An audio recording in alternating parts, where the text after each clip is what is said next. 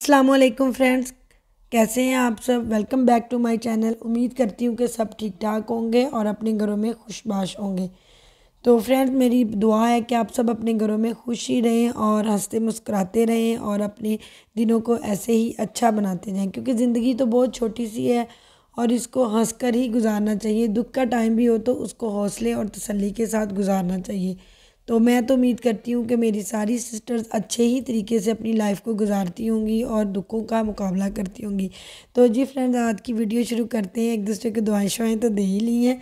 तो अब आज आप दे, जैसे कि वीडियो में आप देख रहे हैं कि मैं इस वक्त चावल बॉयल कर रही हूँ तो मेरा अचानक बैठे का दिल किया कि मैं गुड़ वाले चावल बनाऊँ, क्योंकि मुझे मीठा बहुत पसंद है। तो घर में कोई मीठी चीज़ खाने वाली नहीं थी तो फिर मैंने बोला सोचा कि चले, मीठे चावल ही बना लेते हैं, गुड़ वाले चावल ट्राई करते हैं। वैसे मैंने कभी बहुत ज़्यादा बनाए नहीं हैं, लेकिन बाहर बारिश भी हो रही थी, मौसम भी बहुत अच्छा था तो उसके साथ ही मैंने गुड़ वाले चावल बनाने शुरू कर दिया। ये बड़े अच्छे अगर कभी कभी बनाएँ तो बड़े अच्छे लगते हैं, बड़े मज़े के होते हैं टेस्टी भी होते हैं, और मैं तो कट्ठे बना के रख लेती हूँ, तीन चार दिन खाती रहती हूँ, क्योंकि मैं तो हूँ ही मीठे की शौकीन तो बच्चे मेरे नहीं खाते इतने शौक से, उनको नहीं इसका टेस्ट पसंद, क्योंकि आजकल के बच्चों को आपको पता है चॉकलेट्स बोम बोम कैंडीज़ ऐसी ही चीज़ें पसंद है, वो बच्चे वही चीज़ें खाते हैं। बिस्किट, हर चीज़ के ऊपर तो अब चॉकलेट लगी मिलती है हमें। जो चीज़ भी खाते हैं, उसके ऊपर चॉकलेट जो चीज़ भी खाते हैं, उसके ऊपर कोई ही, मैंने तो हज़ारों में से कोई एक आध बच्चा देखा जिसको चॉकलेट पसंद नहीं। तो बच्चे आजकल के कहाँ हमारे वाले, ये चीज़ें खाएँगे, गुड़ वाले चावल, जर्दे वो पसंद ही नहीं करते, वो खाते ही नहीं हैं इन चीज़ों के पास, उनकी ज़िंदगी में ये चीज़ें एग्जिस्ट ही नहीं करती। तो मेरे ये चावल बहुत अच्छे बने थे। तो अगर आपको रेसिपी चाहिए हुई तो आप मुझे ज़रूर बताना तो मैं आपको रेसिपी भी दूँगी। ये मैंने इधर इलाचियाँ वगैरह डाली थी। मैंने पहले सोचा था कि आपको रेसिपी दूँगी तो इसलिए मैंने वीडियो को ज़रा क्लोज़ करके बनाया। लेकिन अगर आपको वीडियो रेसिपी चाहिए हुई तो आप मुझे प्लीज़ बताइएगा। मैं डिस्क्रिप्शन बॉक्स में मेंशन भी कर दूँगी और आपको आइंदा कभी अच्छी तरीके से रेसिपी भी दे दूँगी। और जब मैं वीडियो को बनाने के लिए आती हूँ, जब मैं वॉइस ओवर करने के लिए आती हूँ तो मेरा दिल होता है कि मैं आपको रेसिपी बताऊँगी। लेकिन यहाँ पर आके मुझे और इतनी बातें याद आ जाती हैं। मेरी सिस्टर्स हैं यूट्यूब एक बहुत अच्छा प्लेटफॉर्म है कि हम एक फैमिली की तरह एक दूसरे के साथ जुड़ जाते हैं और फिर एक दूसरे के साथ बातें करनी शुरू कर देते हैं। और वो ऐसे ही लिखते हैं कि जैसे मेरे सामने बहुत सारे बंदे बैठे हैं और मैं उनसे बातें कर रही हूँ। तो मुझे तो फ्रेंड्स यूँ ही लगता है और भी मेरे ख्याल में जो जो मेरी सिस्टर्स व्लॉगिंग करती होंगी, जो भी वीडियोज़ बनाती होंगी, सबको यूँ ही लगता होएगा कि बहुत सारे बंदे हमारे साथ कनेक्टेड हैं और वो हम, हमारे साथ बातें करते हैं और हम उनके साथ बातें करते हैं।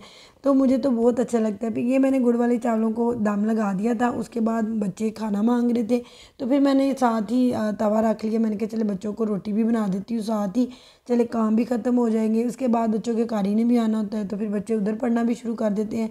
तो इस वजह से फिर मैंने ऑनवर्ड सारे काम भी कर लिए और मैंने आपसे बातें भी कर ली। यूट्यूब बनाने का असल मकसद तो आपसे बातें करना है। अदरवाइज़ गुड़ वाले चावल तो मोस्टली लोगों को आते होंगे। अगर नहीं भी आते तो यूट्यूब पढ़िए प्लेटफॉर्म बहुत बड़ा है। सीखें, बनाएँ, खाएँ। अगर किसी को पसंद हो, मुझे तो पसंद है तो मैंने तो बना ली अगर आपको मेरी ये रेसिपी चाहिए हुई तो आप मुझे ज़रूर बताइएगा। मैं आपको ये रेसिपी ज़रूर दूँगी। अगर आपको मेरी बातें अच्छी लगती हैं, मेरी वीडियो अच्छी लगती है तो प्लीज़ मेरी सिस्टर्स, फ्रेंड्स, जो कोई भी मेरी वीडियो को देख रहा है, वो इसको ज़रूर लाइक किया करें शेयर कर दिया करें। सब्सक्राइब कर दें। अगर किसी ने सब्सक्राइब नहीं किया, कोई नया मेरी वीडियो पर आता है तो उसको सब्सक्राइब करें। यही रिवार्ड होता है हमारे जो इतनी मेहनत करते हैं कि जब आप लाइक करते हैं या कमेंट करते हैं, उससे हमें पता चलता है कि आप लोगों को हमारी बातें अच्छी लगती हैं। जो मैं आपको बोल रही हूँ कि मैं आपसे बातें करती हूँ और आप मुझसे करते हैं। तो आप मुझसे कैसे करेंगे? आप मुझे कमेंट्स के थ्रू बातें करेंगे? तो आप प्लीज़ मुझे कमेंट्स अच्छे अच्छे कमेंट्स करें। अगर आपको मेरी वीडियो में कोई गलती भी लगती है तो आप वो भी मुझे बता सकते हैं, क्योंकि गलतियों, गलतियाँ कोई बताएगा ही मुझे तो फिर ही मैं सीखूँगी ना। तो प्लीज़ आप मुझे मेरी गलतियों का भी बताया करें और मुझे कमेंट भी किया करें और अगर आपको वीडियो अच्छी लगे तो उसको लाइक भी कर दें और उसको शेयर भी कर दिया करें। तो जी, मैंने आज ये अंडे और चने का सालन बनाया था। ये बच्चों को बड़ा पसंद है, मुझे भी बड़ा पसंद है। जब हम पाकिस्तान होते थे तो सुबह सुबह नाश्ते में बाहर से मंगवाते थे अंडे चने। अंडे चने बड़े फ़ेमस होते थे हमारे घरों में कि आज अंडे चने मंगवाने, अंडे चने खाएँगे। आज हम कभी नान मंगवा लेते थे साथ कभी पूरियाँ मंगवा लेते थे। लेकिन अब यहाँ पे फ्रांस में तो ऐसी कोई फैसिलिटी नहीं है। तो इसलिए मैं तो बस, कह लें कि घर में ही बनाए हैं। ये साथ में मैंने तंदूर वाली रोटियाँ बनाई थी बच्चों के लिए तवे के ऊपर ही। तो वो बच्चे बड़े शौक से खाते हैं तंदूर की रोटियाँ। और ये जी चावलों का दम खोल लिया था। चावल बहुत अच्छे बने बड़े मज़े के थे, बड़े टेस्टफुल थे। अब आपके मुँह में पानी आ गया है।